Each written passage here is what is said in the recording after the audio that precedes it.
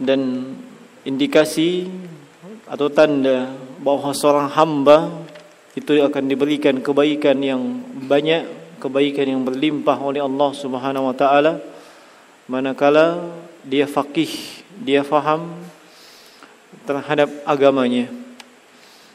Yakni dia mengetahui, mengilmui kemudian berusaha untuk mengamalkannya dengan sebaik-baiknya.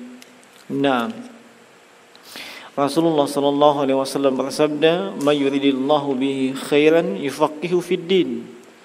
Siapa saja yang diinginkan kebaikan kepadanya, niscaya dia akan difakihkan, difahamkan akan akan agama ini. Dan insyaallah taala melanjutkan pembahasan kita dalam fikih ibadah yang secara sistematika kita ambil dari kitab Al-Wajiz fi fikih sunnah wal kitabil aziz yang ditulis oleh ya, Abdul Azim bin Badawi Al-Khalfi ya. Naam. Hafizahullah Ta'ala. Kita sudah sampai di Babul Aniyah. Babul Aniyah. Artinya ini bab yang menjelaskan atau menyebutkan tentang Al-Aniyah. Al-Aniyah Iya, jamak dari kata awani. Maksudnya bejana bejana. Bab ini menjelaskan tentang bejana atau wadah tempat. Ya. Nah, tempat itu atau wadah dalam kehidupan keseharian kita itu terkait dengan ibadah. Kadang wadah tersebut kita gunakan sebagai tempat air airnya nanti kita gunakan untuk berwudu.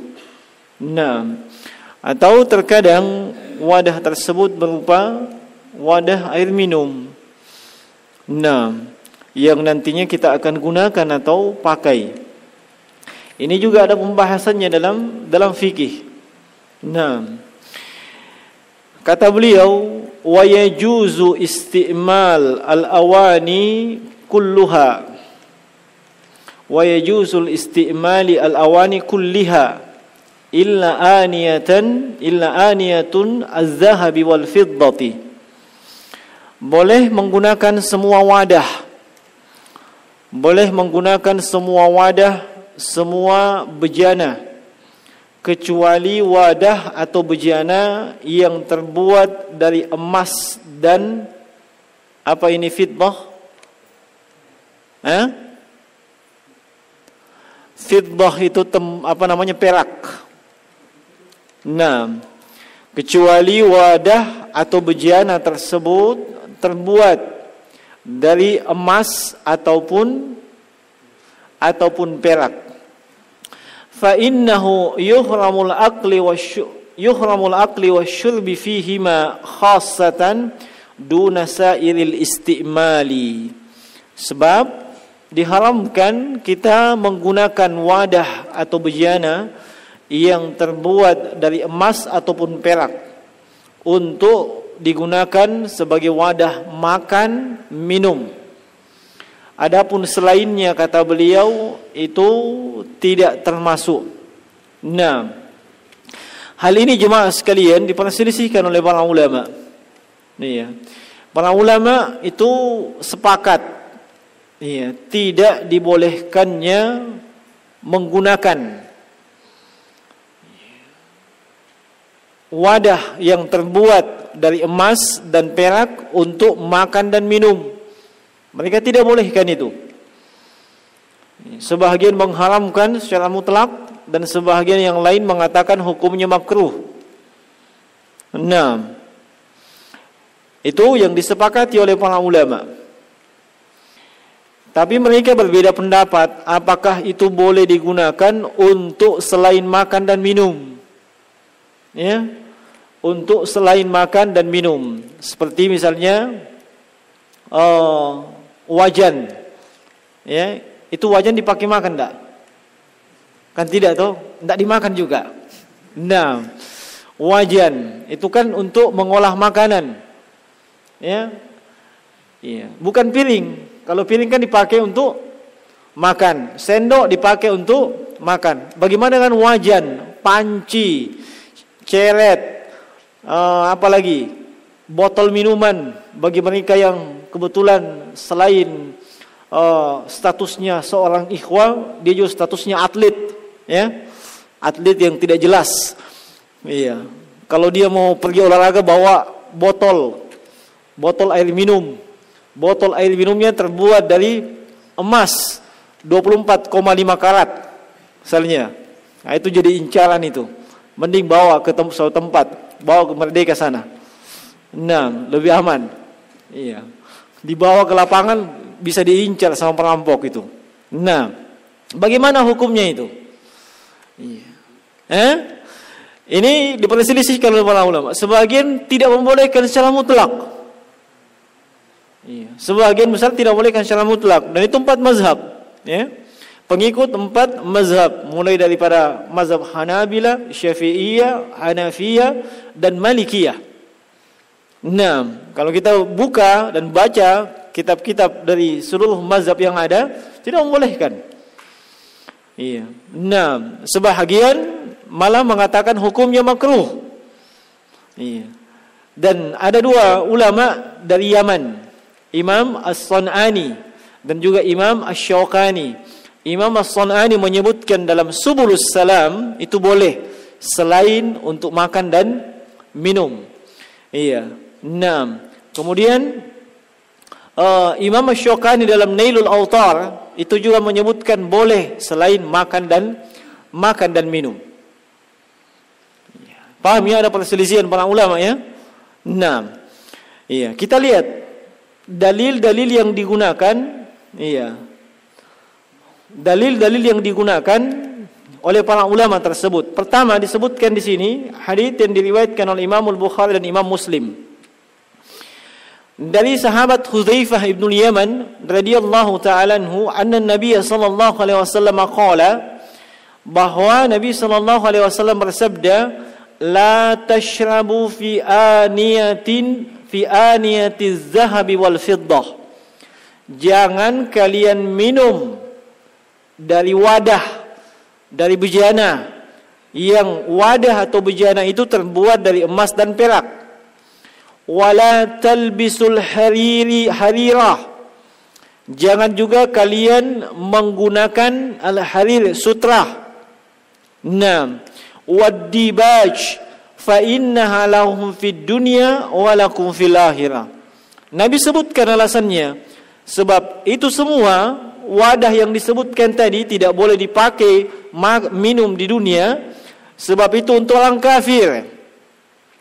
Mereka menikmatinya di dunia sementara kalian itu akan nikmati nanti di akhirat yakni di surga. Di surga itu wadahnya terbuat dari emas untuk kita minum. Iya. Nabi sebutkan itu fa inna halahum fid dunya wa lakum fil akhirah.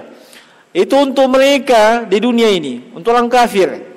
Adapun untuk kalian itu nanti di akhirat atau di surga. Ini hadis yang pertama. Hadis ini dengan tegas iya, melarang tidak boleh minum di wadah atau bahasa yang mungkin dipahami di gelas atau tempat minum yang tempat minum itu terbuat dari emas dan perak.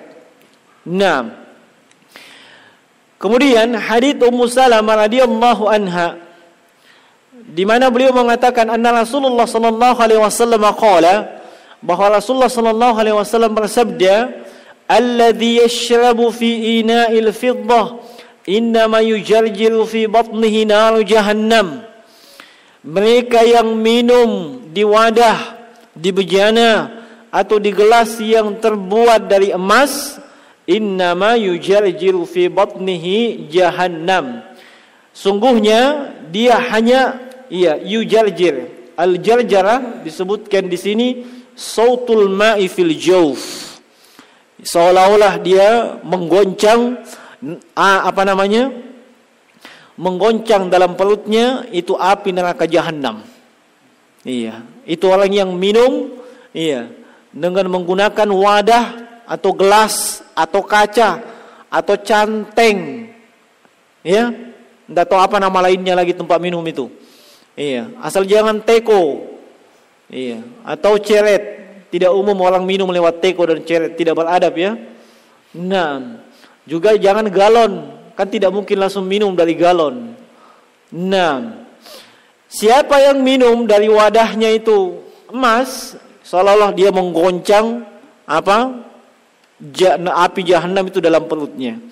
Hadis ini diriwayatkan oleh Imam Bukhari dari Imam Muslim. Di dalam riwayat Imam Muslim, innal ladzi ya'kulu aw yashrabu fi aniyatil fidda wal dhahab. Itu dalam lafaz Imam Muslim, sungguhnya mereka yang makan dan minum. Ya. Kalau dalam muttafaqun alaih yang disepakati oleh Imam Bukhari dan Imam Muslim hanya disebutkan yang minum. Tapi dalam lafadznya Imam Muslim disebutkan yang makan dan minum. Ya. Yang makan dan yang makan dan minum dengan menggunakan wadah atau bejana terbuat dari emas dan perak. Nah, Ikhwani fillah rahimani wa rahimakumullah. Ini beberapa hadis ya yang digunakan. Baik digunakan oleh para ulama yang tidak membolehkan penggunaannya secara umum maupun ulama yang mengatakan seperti Imam Syukani dan Imam As-Sunani bahwa itu hanya khusus untuk makan dan minum. Itu hanya khusus untuk makan dan minum.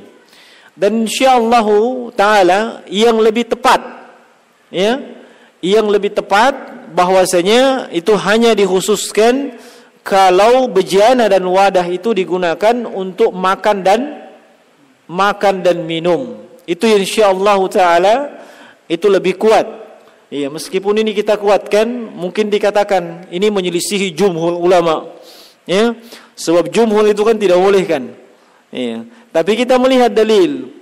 Dalilnya hanya mengkhususkan makan dan minum. Iya, tidak umum pada semua pada semua keadaan. Iya, sisi pendalilan para ulama yang tidak membolehkan secara mutlak, alasannya kenapa? Iya, kalau makan dan minum kan itu artinya digunakan, dipakai. Iya, namanya dipakai, apakah dipakai untuk makan, dipakai untuk minum atau selainnya, sama saja hukumnya. Itu alasan jumhur atau kebanyakan para ulama. Iya, tapi zahir hadis, tekstual hadis itu hanya menyebutkan larangan untuk makan dan minum di atas bejana, wadah, gelas, piring atau dengan sendok yang terbuat dari emas iya ataupun perak.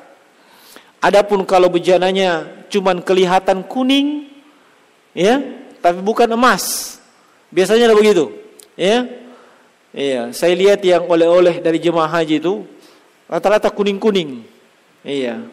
Enam taib bahkan sampai jam tangan pun demikian kuning iya Ya saya bilang begitu sebab saya sempat diberi hadiah begitu. Ya. Setelah saya bawa ke tukang emas, ya, tukang emasnya memang yakin ada 0,8 persen emasnya. 0,8 persen emasnya. Iya. Saya bilang itu berapa gram? Dia bilang dia tidak bisa pastikan.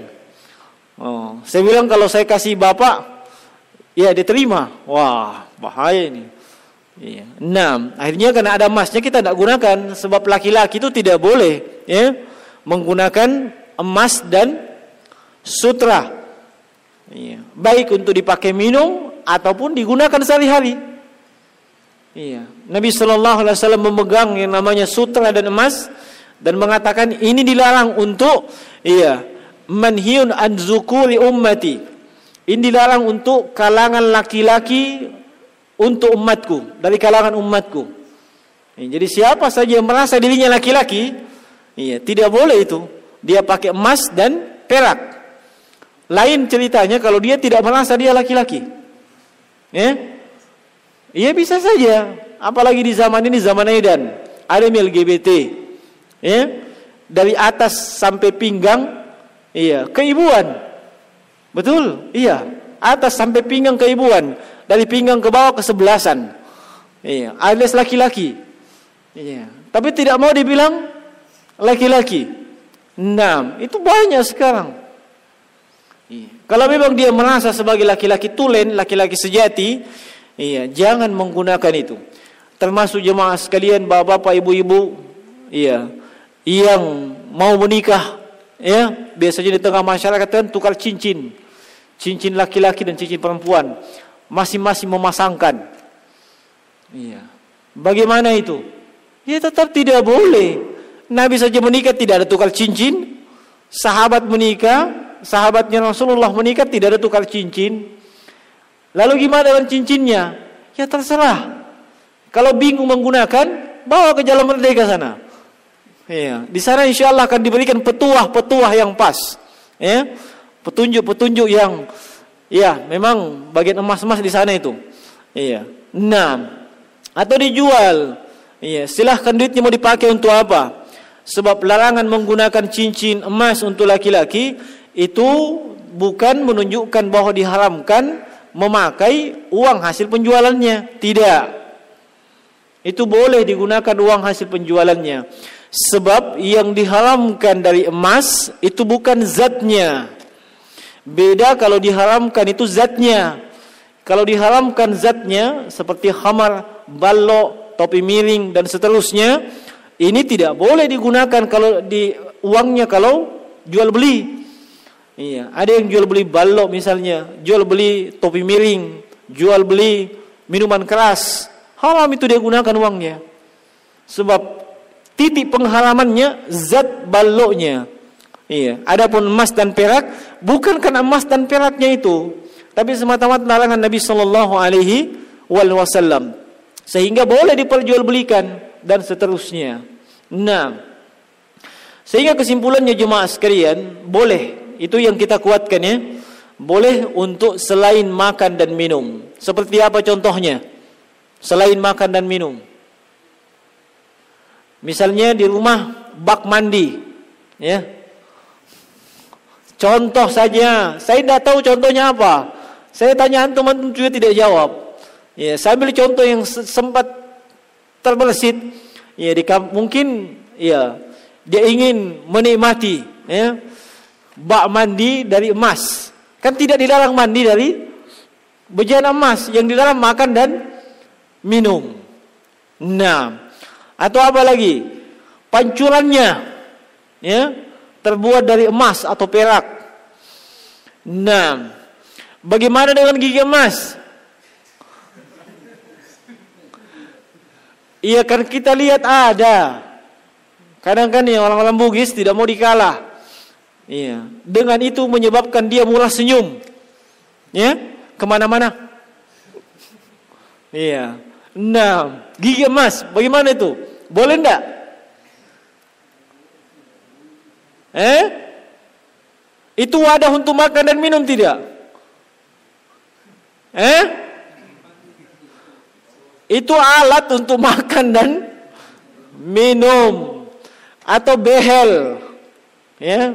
Behel biasanya apa? Besi tua. Apakah? Aluminium. Aluminium foil apakah? Ada dari perak? Saya pakai behel di sini. Tidak ada ji. Laki-laki kok pakai behel? Ente itu kenapa?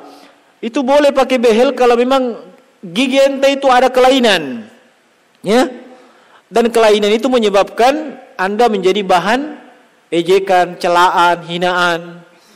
Itu boleh. Tapi selama bagus, normal, tidak usah pakai, tidak boleh. Iya. Itu mimbab tagilu mahalakallah, merubah ciptaan Allah. Nah, saya bilang itu sebab saya pernah berjumpa laki-laki giginya rata semua, pakai behel. Seandainya giginya mancung, ya boleh. Iya. Giginya lebih mancung dari hidungnya misalnya.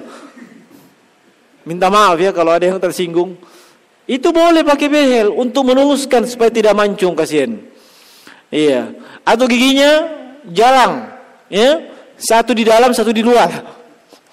Itu mau dirapatkan, boleh saja. Atau dia kesulitan makan dengan menggunakan giginya. Ya kesulitan makan dan menggunakan giginya, dia boleh pakai behel. Selain itu tidak boleh. Dan ini berlaku umum untuk laki dan perempuan. Iya. Ini memang zaman edan, ya. Mendekat kiamat luar biasa. Dulu kita pakai behel untuk apa? Iya, untuk menahan oh supaya tidak longsor. Iya toh? Menahan tidak longsor batu, diisi batu. Iya tuh masih ada tuh istilahnya melonjong. Behel juga namanya itu. Iya. Kita pasang behel untuk apa? Untuk bangunan. Iya. Untuk pagar. Sekarang untuk gigi. Luar biasa. Nah, itu tidak boleh terbuat dari emas kalau itu digunakan untuk makan. Digunakan untuk minum. Nah, bagaimana dengan pipet? Tapi kayaknya tidak ada ya, tidak usah dibahas. Tidak ada itu. Masa pipet saja emas dan perak, ya, termasuk tidak ada itu tusuk gigi. Ya, dari emas dan perak tidak ada itu ceritanya. Ya. Tapi intinya jemaah sekalian, kita menguatkan pendapat Imam Ash-Shawqani dan juga Imam uh, siapa? As-Sun'ani rahimahullahu taala sebagaimana beliau sebutkan dalam Subulus Salam dan Nailul Autar bahwasanya larangan penggunaan khusus untuk makan dan minum. Meski demikian, sebaiknya seorang muslim dan muslimah itu lebih berhati-hati dalam persoalan ini. Iya. Yang mana yang terbaik kita keluar dari perselisihannya para ulama. Iya. Masuk kepada apa yang mereka sepakati. Apa yang mereka sepakati larangan penggunaan. Kan begitu? Iya. Mereka berselisih selain daripada makan dan minum. Tapi mereka sepakat larangan penggunaan. Jauh lebih aman kalau kita biasa-biasa saja. Ya. Nah, tidak usah ada bagian-bagian emas di rumah kecuali kalau dipakai untuk istri. Istri tidak ada masalah dia mau pakai emas ujung kepala sampai ujung ujung kaki silahkan. Nah, adapun laki-laki jangan coba-coba. Nah, Masyal muslimin rahimani wa rahimakumullah selesai bab itu. Kita masuk kepada taharatul salah. Bersuci untuk salat. Abdullah bin Umar radhiyallahu anhuma berkata, "Sami'tu an-nabiyya sallallahu alaihi wasallam yaqulu" Saya telah mendengarkan Nabi sallallahu alaihi wasallam bersabda, "La tuqbalu salati" Iya. Bi ghairi tuhurin. Iya. Allah tidak diterima suatu salat kalau tanpa disertai dengan bersuci. Nah, wa taharatu nau'an, taharatu bil ma'i wa taharatu bis said. Tahara itu kata beliau dua macam. Tahara dengan air, dengan tahara dengan debu. Ya, debu namanya tayammum. Nah, awalan at-taharatu bil. Yang pertama bertohara dengan air al-wudu wal guslu. Yang akan dibahas di sini berwudu dan mandi. Nah, al-wudu kalau wudu ya itu bahasa Arab dengan dhamma wawunya wudu. Nah, itu artinya perbuatan berwudu ya, praktek berwudu. Tapi kalau wawunya fathah wudu itu artinya apa? air yang digunakan untuk berwudu. Ya, bedakan itu. Jangan salah baca. Ya, salah baca salah salah arti. Enam, itu pentingnya bahasa Arab. Ya, enam, jangan terlambat. Kalau iya waktunya belajar bahasa Arab. Tapi kadang ustadznya yang terlambat. Enam. Taib. Sifatuhu. Bagaimana sifat berwudu? Enam. Di sini beliau menyebutkan hadis Utsman bin Affan. Hadis ini diriwayatkan oleh Imam Bukhari dan Imam Muslim. An Humran Maula Utsman dari Humran, Humran bin Aban. Ini maula mantan budaknya Utsman, ya. Ex budaknya Utsman namanya Maula, ya. Namanya Humran bin Aban. Nah, beliau mengatakan anna Utsman Ibn Affan radhiyallahu anhu da'a biwadu'in ya bahwasanya Utsman bin Affan itu meminta wadu meminta apa meminta air untuk berwudu ya bukan da'a biwudu'in ya nah da'a biwadu'in fatawadda maka beliau pun berwudu fagasala kafaihi salasa marrat. Beliau mencuci telapak tangan beliau tiga kali. Summa madmadha wastansyara. Kemudian beliau berkumur. Kemudian beliau istinsyar. Istinsyar oh, itu mengeluarkan air dari hidung. Kalau memasukkannya menghirup namanya istinsyak, ya. Kalau mengeluarkannya namanya istinsyar. Nah, summa ghassala wajhahu salasa. Salasa marat. Kemudian beliau mencuci wajahnya tiga kali. Summa ghassala yadahu al-yumna ilal mirfaq salasa marat. Beliau mencuci tangan beliau sebelah kanan, iya, sampai ke siku sebanyak tiga kali. Summa ghassala yadahu al-yusra mislu zalik. Demikian pula ketika mencuci tangan beliau yang sebelah kiri juga tiga kali. Summa masaha ra'sahu. Kemudian beliau mengusap kepala beliau. Summa ghassala rijlahu al-yumna. Setelah itu beliau mencuci kaki kanan beliau ilal ka'baini salasa marrat sampai ke mata kaki tiga kali. Summa ghassala al-yusra mislu zalik. Kemudian beliau mencuci kaki sebelah kiri juga demikian. Summa qal. Kemudian beliau berkata, Ra'aitu Rasulullah sallallahu alaihi wasallam tawadda nahwa wudu'i hadza. Saya telah menyaksikan, saya telah melihat langsung Nabi berwudu sebagaimana wudu ini. Ya? Nah.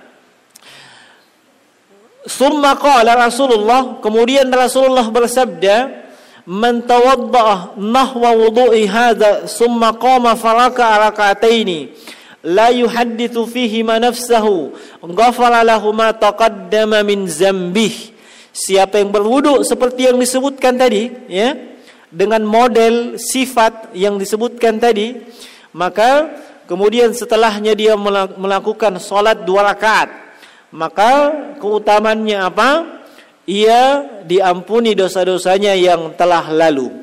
Enam, diampuni dosa-dosanya yang telah lalu. Ini hadis yang bersama kita jemaah sekalian yang menceritakan tentang wudu. Enam. Kemudian beliau mengatakan syurutu sihhatihi. Ya. Beliau menyebutkan syarat-syarat sahnya itu wudu. Ya. Syarat sahnya wudu. Ingat kalau disebutkan syarat maka itu di luar prakteknya. Ya. Syarat solat itu di luar, bukan dalam solat. Ya. Yang dalam solat itu rukun, yang dalam solat itu sunnahnya. Terkadang yang dalam solat itu kewajibannya. Tapi kalau syarat itu berada di di luar. Nah, di sini beliau menyebutkan syarat yang pertama niat. Ada niat. Iya. Niatnya cuci tangan, uh, cuci muka, kumul-kumul itu apa? Dia mau apa? Sekedar bersih-bersih atau berwudu? Ya? Itu mesti dipastikan niatnya. Dan niat ini iya, tempatnya di hati, bukan di bibir, bukan di lisan. Makanya tidak ada kita dapat dari Nabi beliau mengatakan apa itu? Eh? Siapa yang hafal itu? Nawaitul wudu'a ah dan seterusnya. Iya. Tidak pernah kita dapat dari Nabi beliau sebelum berwudu nawaitul wudu dan seterusnya. Kenapa? Niat itu di hati, Mas. Itu sepakat para ulama, niat di hati bukan di bibir. Iya. Nah, ribet ceritanya kalau niat itu di bibir. Saya mau masuk masjid. Saya mau pakai kaki kanan. Saya mau sholat. Itu pakai bibir semua. Ribet. Pas mau sholat, mau kencing. Saya mau batalkan sholat. Saya mau keluar masjid. Saya mau masuk WC. Saya mau buka celana. Ribet semuanya itu. Iya. Makanya kalau ada yang komplain, iya, kenapa tidak boleh pakai niat seperti itu? Coba tunjukkan hadisnya dari Nabi. Nabi pernah tidak lakukan seperti itu? Nah, sholat saja Nabi tidak pernah tekankan itu di awal mesti apa? Baca kuniat tidak. Tapi niat harus ada. Niat itu pekerjaan hati. Kita ke masjid niatnya apa? Itu sudah ada dalam hati nih. Kita berwudu, niatnya apa? Mau apa? Setelahnya, mau tidur kah, mau sholat? Pasti ada dalam hati kita. Iya. Kapan kita niatnya wudu? Insya Allah mau sholat. Iya. Itu sudah niat namanya, tidak perlu oh apa itu? Usolli apa? Saya sudah tidak ingat lagi. Nah, tidak ada contoh dari Nabi Shallallahu Alaihi Wasallam seperti itu. Dulu waktu SD sudah hafal semua itu. Ya. Kalau salah, apa hasilnya? Ulangi. Iya. Itu kita lihat sampai sekarang. Iya. Kemarin saja kita jalan-jalan ke kabupaten lain, ada orang di samping saya, salat maghrib, usolli fardal maghrib, salah rakaatin. Aisyah, usolli. Ini sudah al-fatihah imam ini. Masya Allah. Bikin ribet. Kita juga terganggu dekatnya. Mau kita betulkan ini. Bagaimana caranya kita sedang sholat. Nah, minta maaf ya tidak ada contoh dari Nabi seperti itu. Termasuk niat wudhu. Iya, wajib pada niat tapi tidak perlu kita ungkap dengan lisan. Nabi sallallahu alaihi wasallam bersabda, "Innamal a'malu binniyat wa innamal likulli imri'in ma nawa." Setiap amalan itu mesti dengan niat. Seseorang dinilai, diberi pahala, iya, dan sekaligus menentukan diterima tidaknya amalannya itu kalau ada niat. Bahkan yang membedakan antara ibadah dan kebiasaan itu niat. Ya, orang mandi, orang mandi, cuci bersih semua, tanpa niat mandi janabah. Ya mandi biasa namanya. Mandi biasa. Kenapa? Tidak ada niatnya untuk janabah.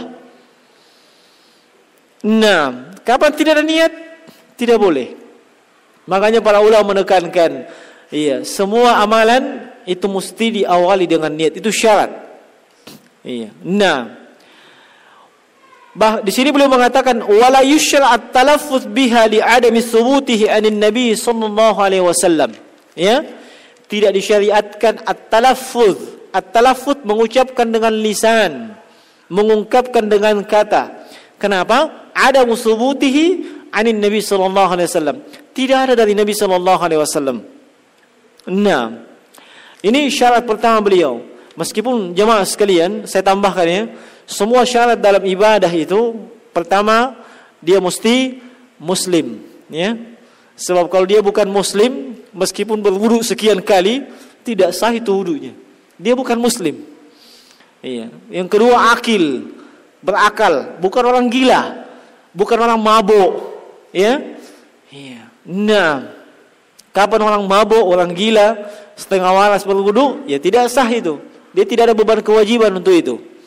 Iya. Nah, ini semuanya disebut dengan mukallaf. Ya.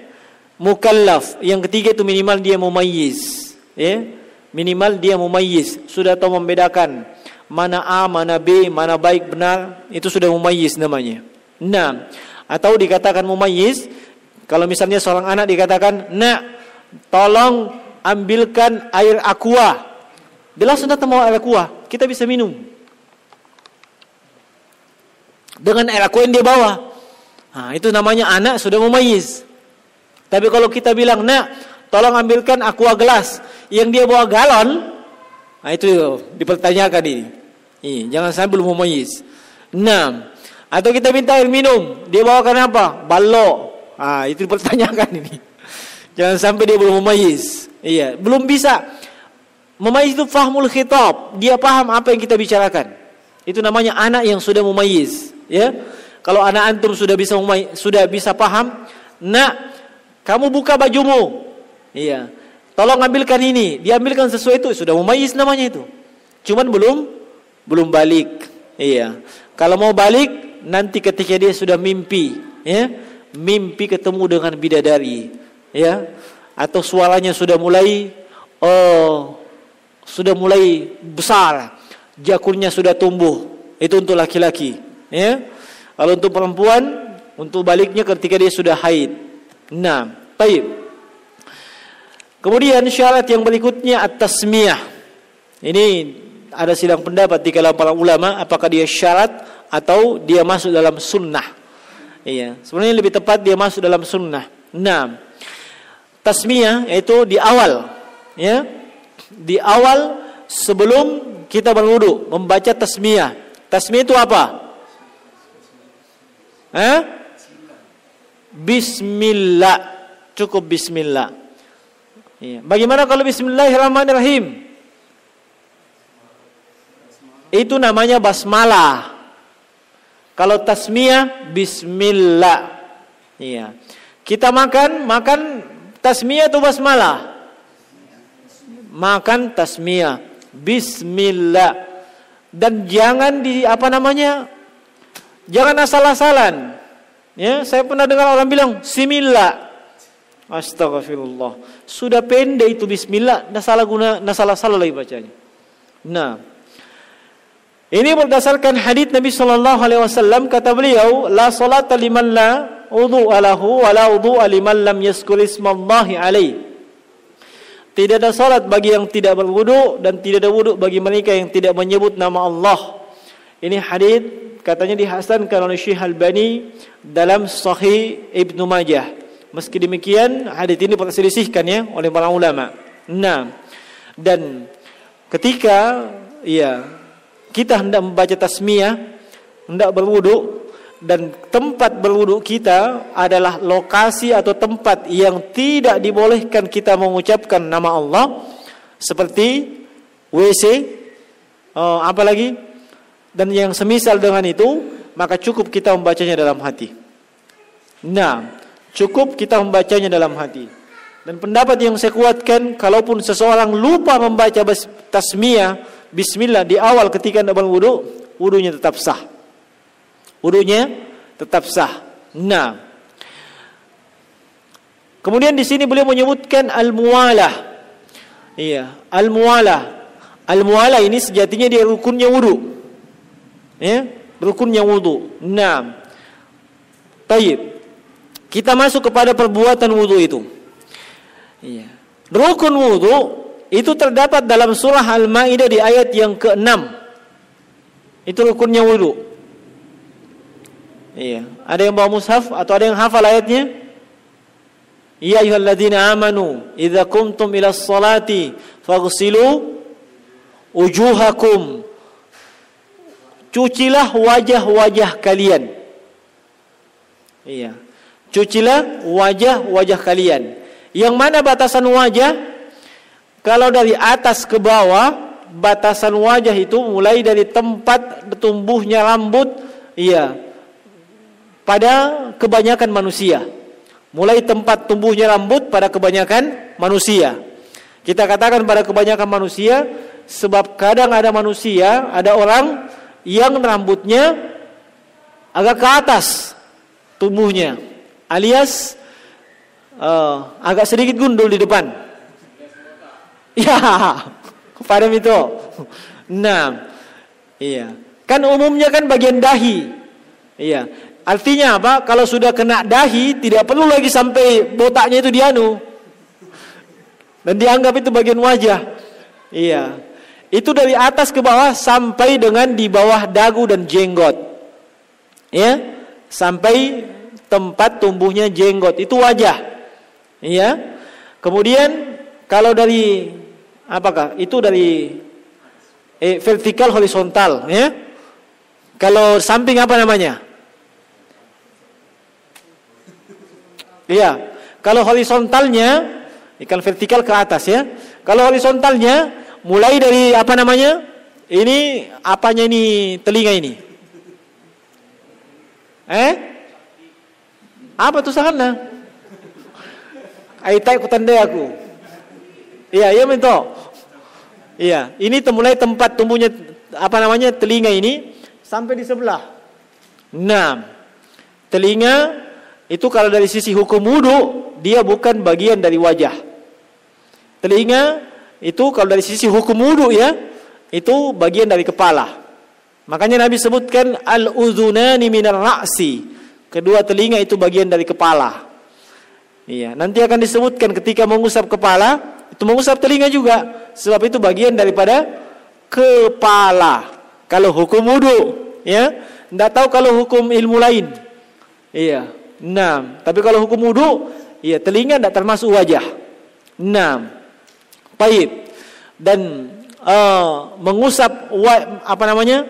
Mencuci wajah, ya. Bukan mengusap. Iya. Kalimatnya apa? Fagsilu. Iya. Al-ghuslu mencuci. Beda dengan al-mashu mengusap. Ya. Bedakan itu kalimatnya. Karena kalimatnya al-ghuslu dicuci wajahnya. Bukan diusap. Kalau diusap itu ah, itu diusap namanya, sekedar kena air. Ya. Tapi kalau dicuci betul-betul dikena air dengan di apa namanya? disapu dengan tangan. Dicuci al-ghuslu. Nah. Ini yang pertama. Iya, rukun daripada wudu. Kemudian oh, wa aidiakum ilal marafiq dan tangan-tangan kalian sampai ke ke siku. Iya. Di sini yang lebih kuat insyaallah taala siku termasuk mesti dicuci. Bukan artinya sampai di siku siku tidak termasuk. Tidak. Iya. Famsahu bi ujuhikum wa aidiakum ila. Iya. Ilahnya di sini al-ghayah ya sampai ke siku siku juga mesti basah kadang muncul pertanyaan bagaimana kalau kita mulai dari siku ke tangan bagaimana hukumnya tidak ada masalah tidak dipermasalahkan itu para ulama. Enam. Tidak dipermasalahkan oleh para ulama. Enam. Boleh saja dari siku ke tangan tangan ke siku. Tidak ada masalah. Enam. Ini yang kita dahulukan yang sebelah kanan. Iya. Kemudian yang sebelah kiri. Kemudian bagaimana kelanjutan ayat? Wa aydiyakum ilal marafiq. Wamsa wamsahu birusikum dan usaplah kepala-kepala kalian. Iya. Mengusap kepala ini diperselisihkan oleh para ulama. Iya. Kalau mazhab Hanabila dan Malikiyah itu mengusap seluruhnya. Mulai daripada tempat tumbuhnya rambut sampai dengan ujungnya rambut ditengkuk. Lalu diputar kembali sampai ke telinga. Iya, jadi satu paket itu mengusap kepala dengan dengan telinga. Itu kalau di mazhab Hanabilah dan Malikiyah. Semuanya mesti diusap. Alasannya kenapa? Hadith-hadith Nabi yang menceritakan dan menyebutkan sifat wudhunya Nabi ketika mengusap kepala, semua mengusap semuanya.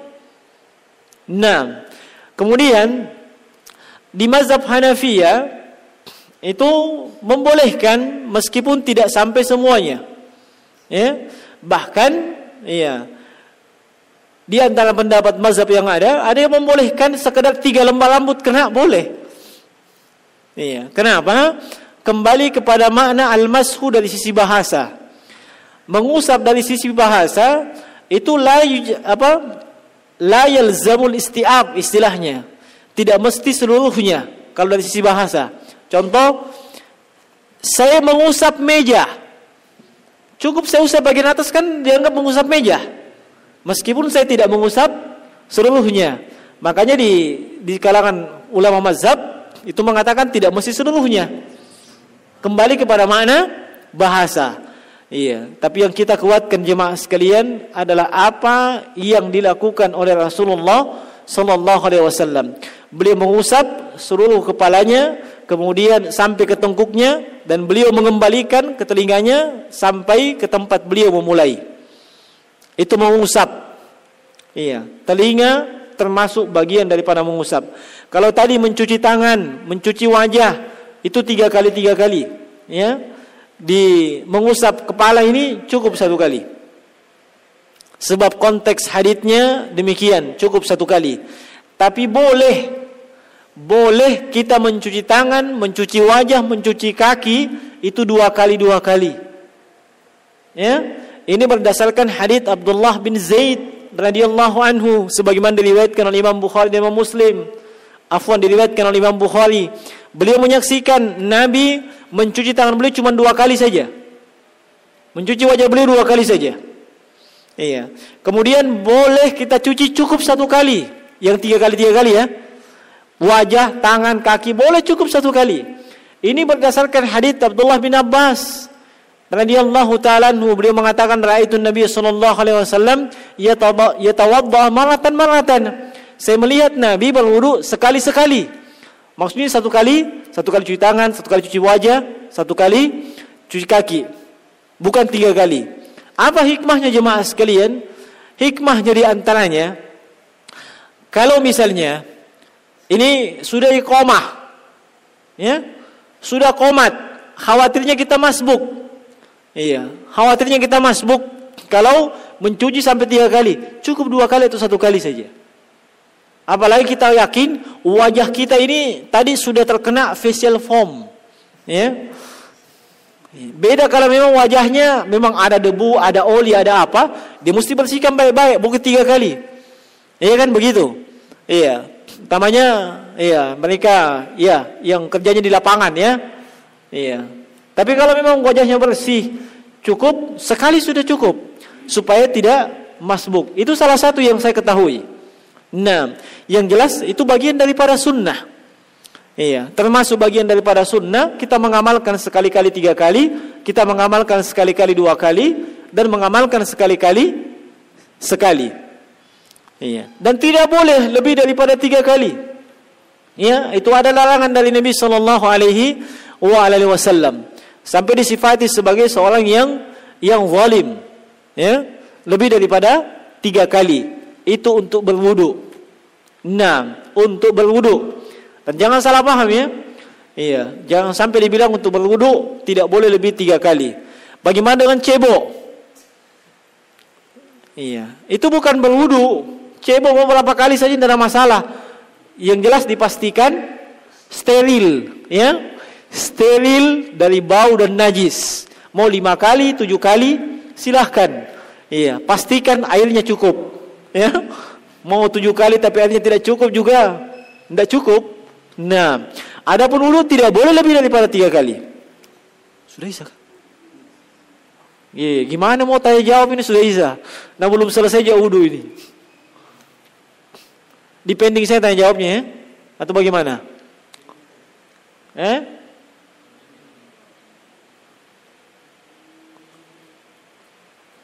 Taib. Atau tidak ada masalah. Seputar wudhu silahkan. Atau masalah bejana silahkan. Nah, nanti kita belum, tapi kita belum sebutkan di antara sunnah-sunnah dalam wudhu. Tapi secara umum kita sudah biasa berwudhu. Kadang dalam berwudhu kita menjumpai masalah, ya. Iya. Dan masalah itu kadang kita bingung. Nah, kalau dalam hadis Utsman bin Affan tadi itu menunjukkan boleh baku bantu dalam masalah wudu. Ya. Boleh saling ta'awun.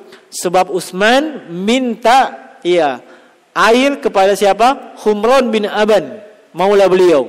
Jadi boleh ta'awun, tolong tumpahkan saya air. Nah, dari hadis itu juga menunjukkan bahwa dulu mereka pakai bejana. Mereka pakai wadah ketika berwudu. Nah, iya. Baik, silahkan kalau ada hal-hal yang ingin dipertanyakan. Oh iya, silahkan.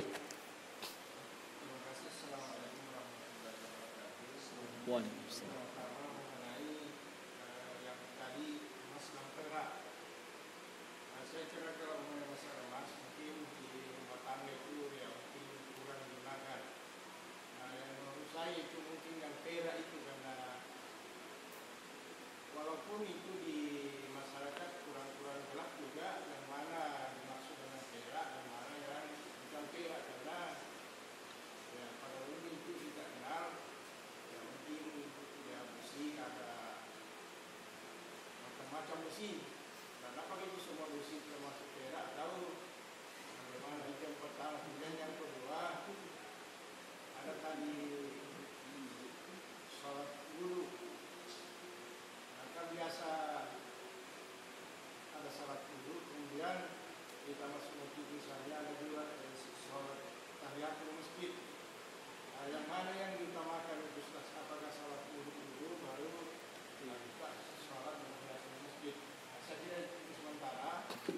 Taib. Ad Waalaikumsalam warahmatullahi wabarakatuh. Ada dua ya mengenai perak.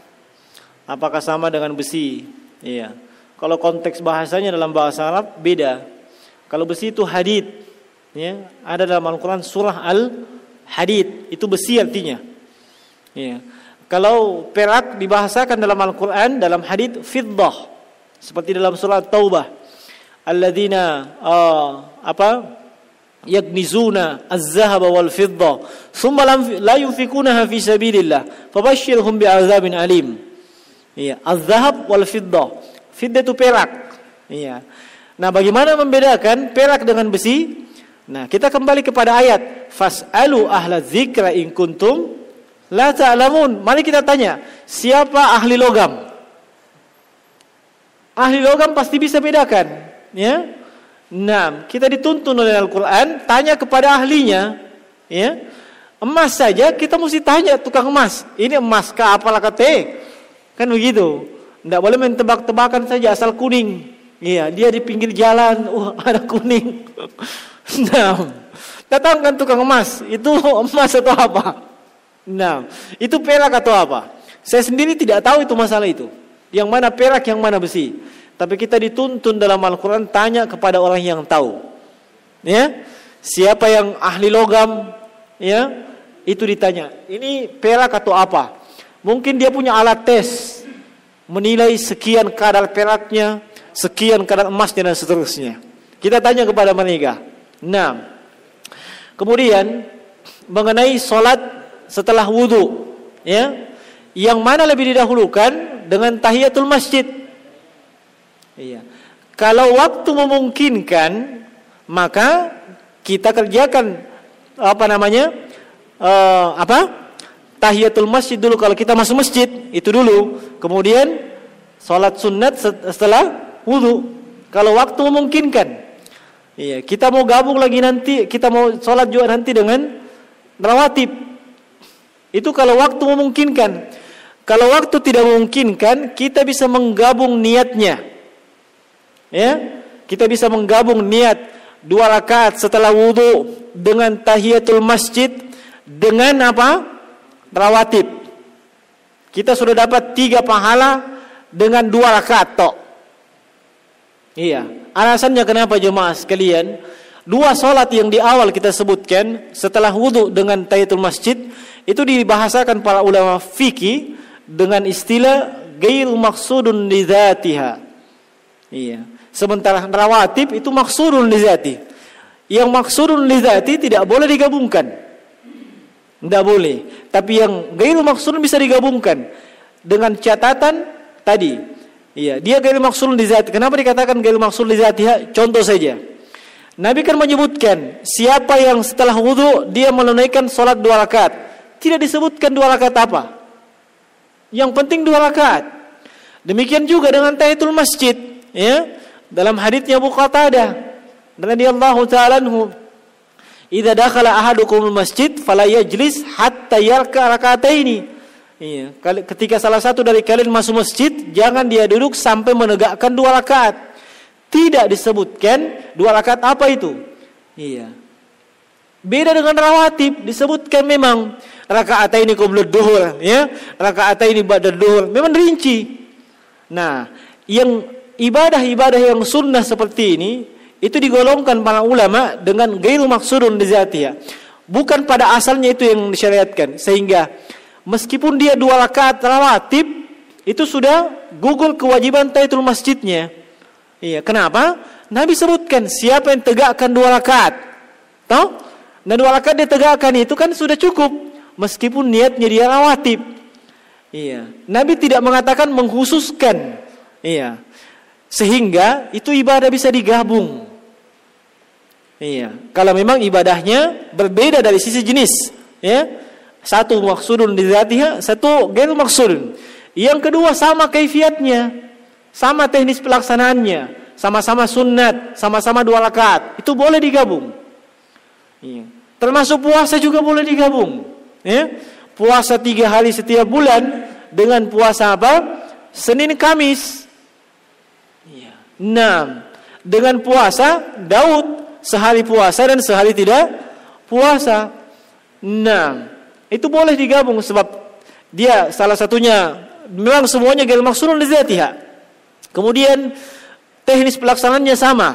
Sama-sama sholat sunat, sama-sama puasa. Sama-sama puasa sunat. Itu boleh digabung dengan niat yang macam-macam. Ya, itu kalau waktu tidak cukup tadi ya. Misalnya setiap masjid kan biasanya ada pengatur waktunya. Azan dan iqamah itu kan 5 menit. Atau 3 menit. 3 menit ini bisa berapa rakaat? Paling maksimal 2. Ya, kalau 3 menit. Kita niatkan apa namanya? Tahiyatul masjid, uh, sunnat wudu dan rawatib. Niatkan seperti itu. Kita sudah dapat tiga pahala dengan dua rakaat itu. Kalau memang waktunya tidak cukup. Tapi kalau cukup waktunya silahkan. Mau itu, mau itu. Termasuk sebelum maghrib. Itu kan sebelum maghrib Nabi katakan. Sallu qoblal maghrib. Sallu qoblal maghrib. Sallu qoblal maghrib. Liman sya'ah. Bagi siapa yang mau. Ada dua rakaat lagi sebelum maghrib. Dua rakaat. Itu bisa digabung juga. Sebab dia kan maksudun di ya. Nabi tidak terangkan itu sholat apa namanya. Iya kan? Hanya disebutkan sholat sebelum maghrib. Jadi banyak pahala bisa kita raih dengan dua rakaat itu. Sekaligus gugur kewajiban dari tahiyatul masjid. Ini kadang diributkan oleh masyarakat, khususnya kaum muslimin, utamanya ketika subuh. Ya, kadang di masjid subuh waktu azan dan iqamah itu berapa menit? 4 menit, 5 menit. Dia mau minta tahiyatul masjid, mau mi salat sunat wudu, mau mi apa? Rawatib. Iya. Padahal rawatib untuk subuh itu kalau mau sesuai sunnah yang benar kasih ringan, jangan dikasih lama. Itu sunnahnya. Aisyah itu menceritakan so, Nabi itu cuma baca Al-Kafirun di rakaat pertama, su apa namanya? Al-Ikhlas di rakaat kedua untuk sholat sunat sebelum subuh. Iya. Bahkan Aisyah pernah menceritakan Kayaknya seperti tidak tidak baca Al-Fatihah. Sedemikian cepatnya sholatnya Nabi. Untuk dua rakaat subuh. Ini sih kita sebutkan jemaah sekalian. Karena kita melihat kaum muslimin. B.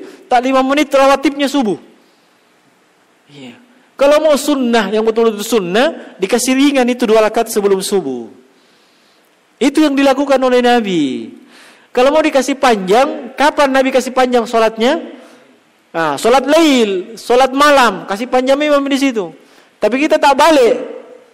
Iya, solat lail, al-fatihah, kulul ahad. Iya, tahiyatul apa? Eh, rawatib sebelum subuh, amma salun. Wah, kebalik gitu. Iya, kalau mau sunnah kasih ringan dua rakaat sebelum subuh. Nah, sudah jelas pak ya? Baik. Wih, Pak Haji.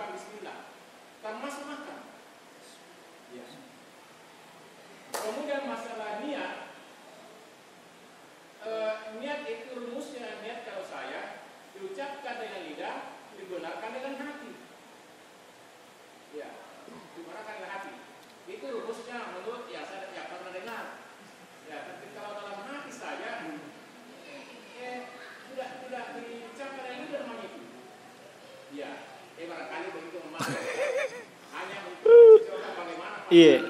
Tak isi sama tumbah.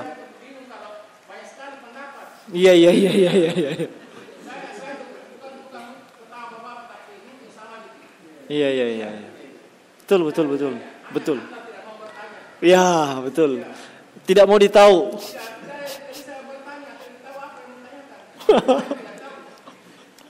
Taib. Ya, ya, pertanyaan dari Bapak Haji Muslimin bagus sekali ya tentang ini dua kalimat syahadat. Kok beda dalam sholat? Beda yang dibaca juga ketika mengislamkan seseorang dan beda ketika akan menikahkan seseorang.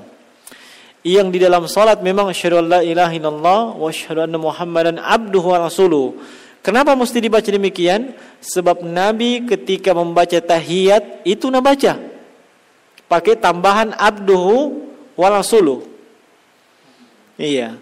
Yang kalau dari sisi uh, apa? Bahasa sebenarnya tidak terlalu tidak ada perbedaan. Iya. Tidak ada perbedaan yang kayaknya signifikan tidak. Yang dalam sholat itu dipertegas bahwa Nabi itu hamba. Iya. Nabi itu hamba. Selain sebagai Rasul, kita mesti belia, muliakan beliau sebagai Rasul. Beliau itu hamba. Iya. Manusia. Yang kadang salah, kadang benar. Nah, adapun syahadat yang ketika mengislamkan seseorang memang sudah benar. Dan bisa juga digunakan asyhadu alla ilaha illallah wa asyhadu anna muhammadan abduhu wa rasuluh. Bisa juga. Ketika mengislamkan. Iya. Ketika mengislamkan seseorang. Tapi ketika menikahkan seseorang ini saya bingung. Iya. Sebab ketika menikahkan seseorang itu di antara rukun nikah yang saya tahu sependek pengetahuan saya itu pertama khutbah nikah. Ya? Iya. Kalau masalah teknis penyerahan perwalian itu kan teknis namanya. Khutbah nikah. Iya. Kemudian setelah itu ijab kabul. Iya. Ijab kabul, iya. Yang benarkan siapa? Saksi.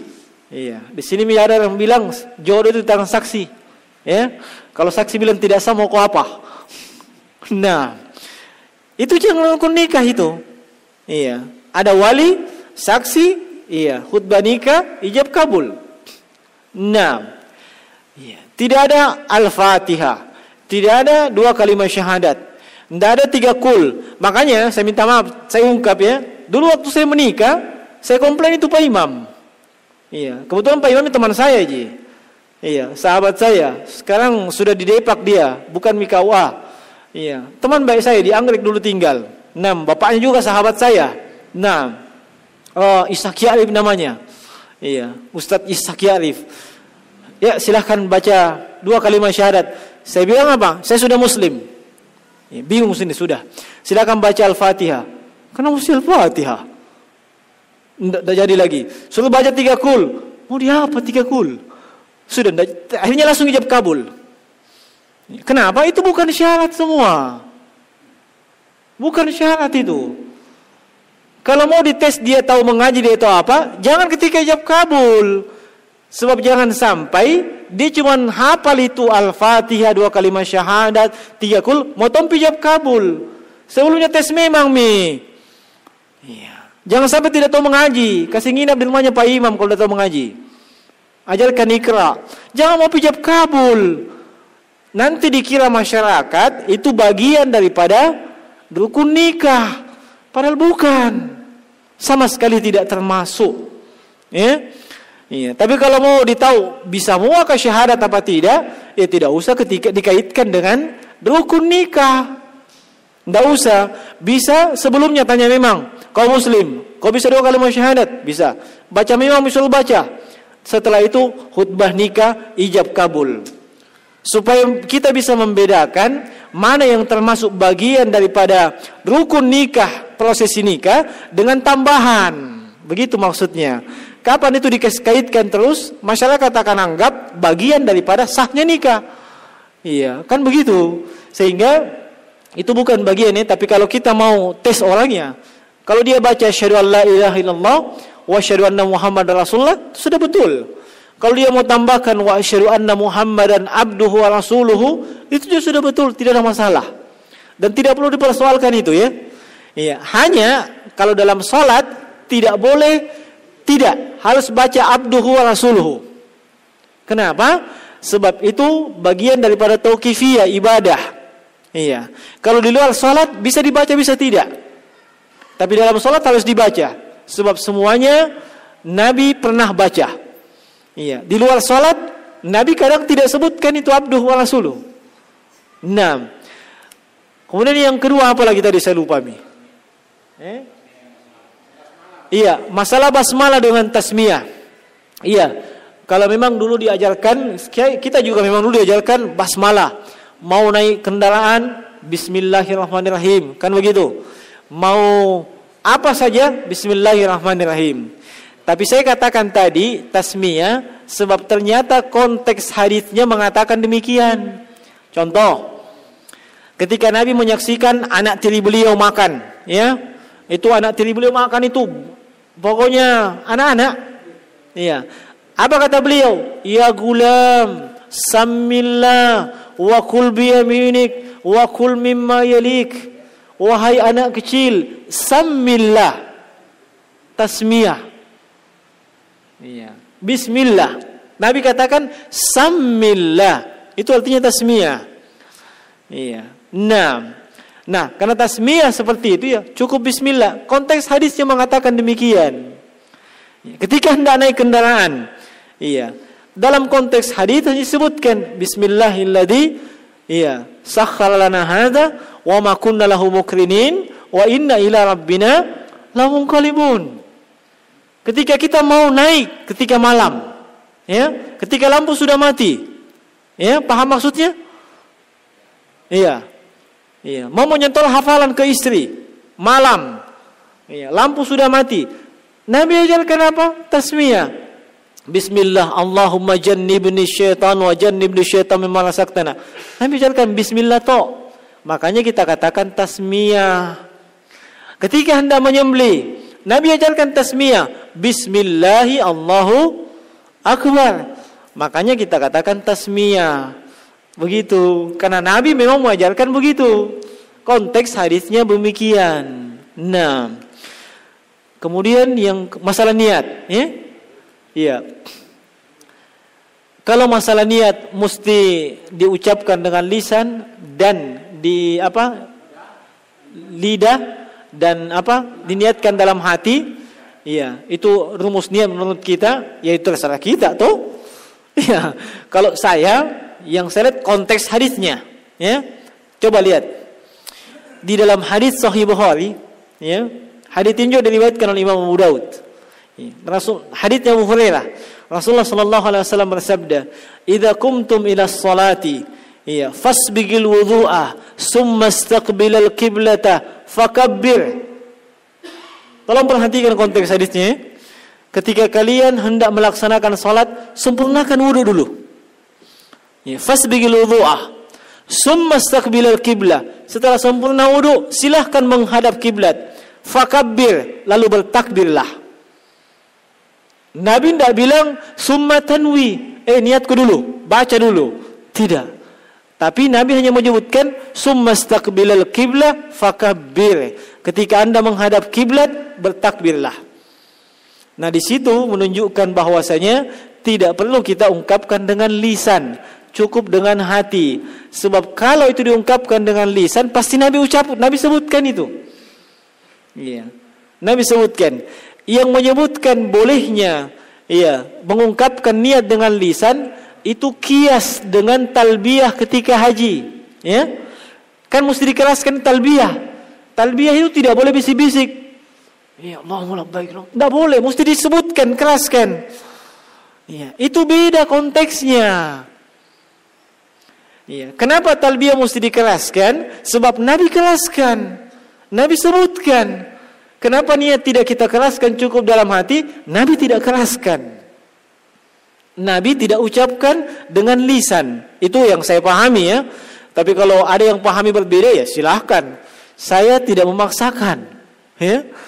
ya saya tidak memaksakan kehendak. Apalagi sampai mesti mata geng. Tidak perlu.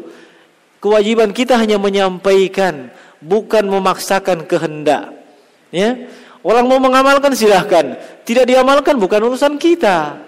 Ya, yang jelas kita sudah menyampaikan yang kita ketahui. Itu saja. Iya. Enam. Dan tidak boleh seorang dai, seorang ustadz dia memaksakan kehendaknya, tidak boleh itu. Kenapa? Nabi tidak memaksakan kehendak. Bahkan Allah menegaskan, "Innama iya, sungguhnya engkau adalah innamal balagul mubin." Engkau hanya penyampai, bukan pemberi hidayah. Iya, ya? Bukan. Nabi cuma menyampaikan saja. Iya. Tidak memaksakan. Iya. Demikian pula kita. Sehingga itu yang saya pahami, ya. Tapi kalau bapak-bapak pahami berbeda, ya silakan saja, tidak ada masalah. Ya. Kalau saya tidak demikian. Taib. Sekira cukup ya.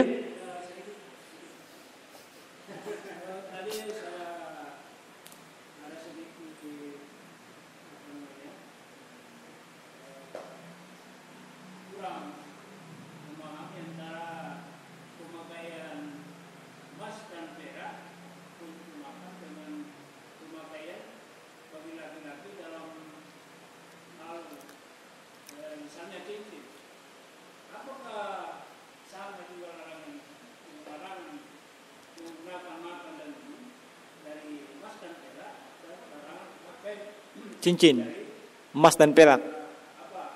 Taib. Iya. Jadi begini kesimpulan rinciannya.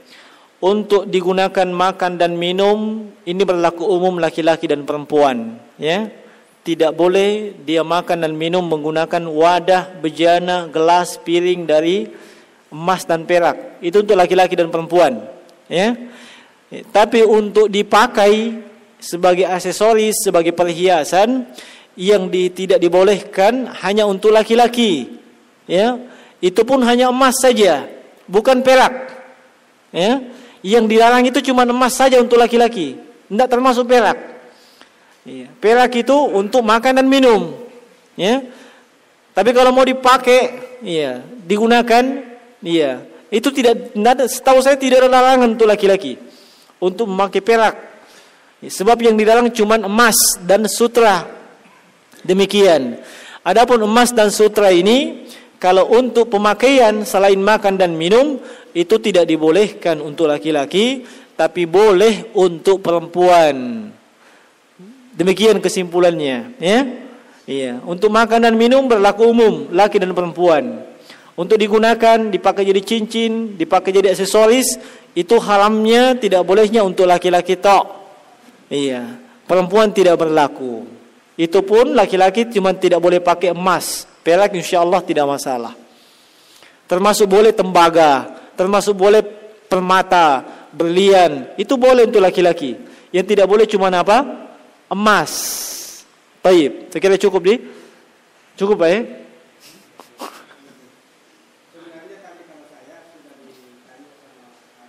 Oh iya iya, Pak Haji Muslimin.